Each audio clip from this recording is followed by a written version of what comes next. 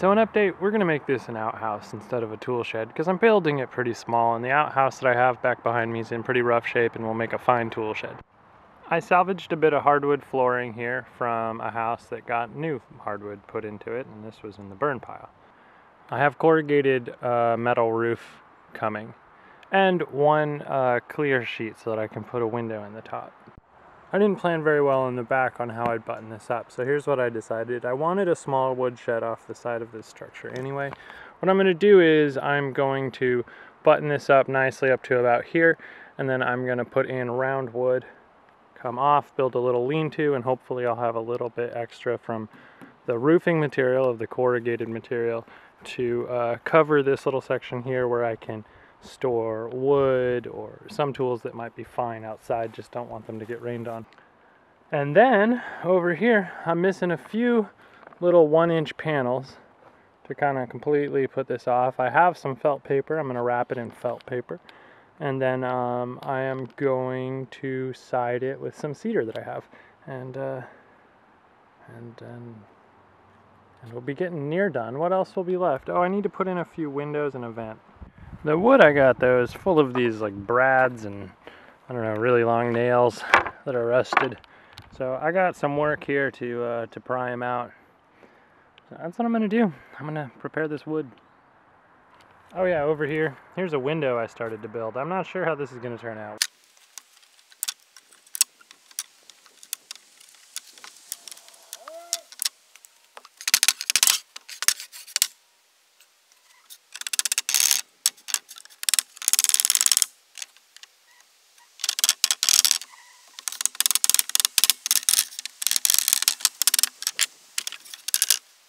I even found a piece of uh, where the, the trim, I guess, where the door would go.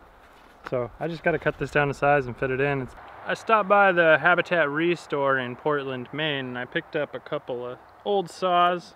They work all right. They're a little bit dull, but not too bad. Still got some good life in them. Got some nails, uh, a few other things, a handful of other things. Spent about 10 bucks.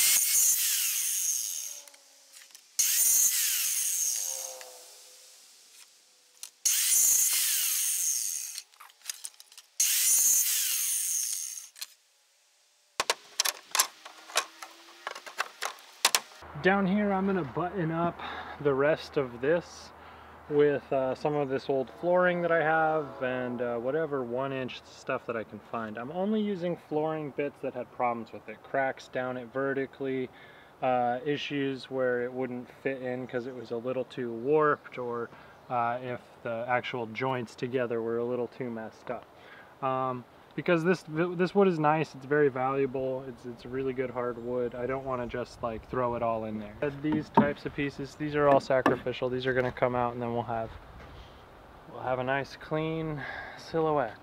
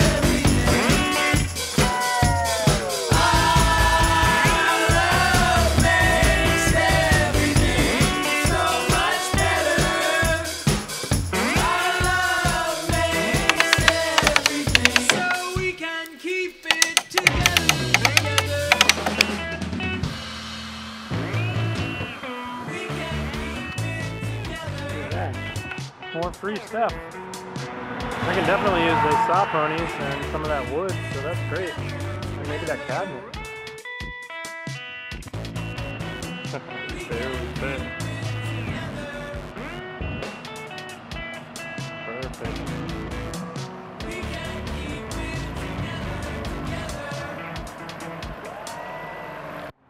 So I couldn't find any free roofing material really at all, and I refused to use like uh, architectural shingling, like uh, you know asphalt shingle, because I just don't like the look of it. So this is the only new thing I've purchased for this shed, and hopefully the only new thing that I will purchase is uh, some corrugated metal roofing, and I'm breaking one rule that I have, which is no plastic, and I've got one corrugated plastic sheeting Tuftex uh, sheet and that will be used to make windows in the top so that we get a little light. So um, I figure that's worth cheating on because uh, the light will be worth it and the cost versus um, putting in windows in both time and money.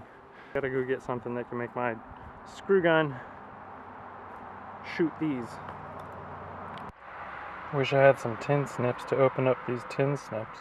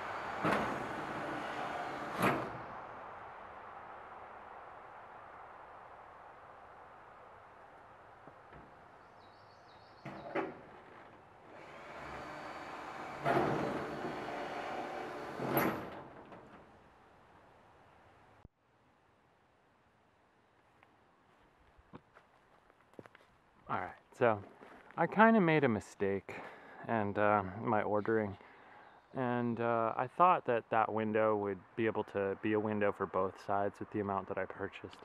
However, I didn't consider the width or the distance between the supports, so um, it actually kind of had to be a lot longer or a little longer uh, than I was hoping. Meaning that if I want to make this match the exact on the other side, I need to buy another plastic sheet.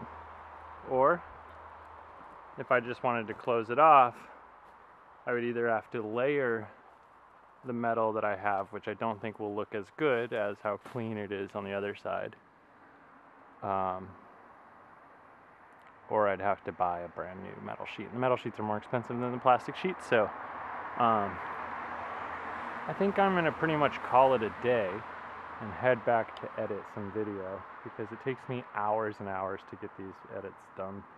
Um, and I haven't posted a video soon or recently. You guys can tell I'm tired. I went to a city release party last night and I went to bed at 3:30 in the morning. And it's like 6 p.m. So tired. I am so tired. Okay. Uh, but yeah, so I'm gonna tomorrow grab another one of those plastic sheets and uh, we're gonna do it. We're gonna do it, guys. We're getting there, though. I'm excited, and I think it's gonna be really cool here from the inside. Anyone in there? No, we're good. Okay. Whoops, sorry, bumping around. But yeah.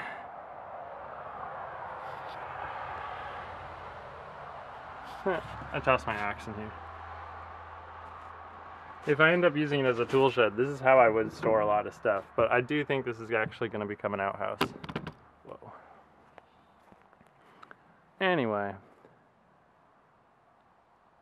I'm going to go edit this video, guys. If you're watching this, it's because I left.